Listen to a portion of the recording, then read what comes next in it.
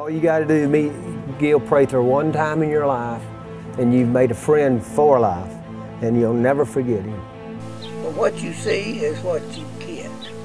But I was a friend of Gil Prather's, and that made me somebody. And my kids love him, the dogs love him, the horses love him, the chickens love him, my hens love him, and you can't, if you, if you don't love Gil Prather, you ain't American. That's who Gil Prather is. He makes you somebody. But he's also a handful too. Can't keep up with him. I mean, when he's gonna get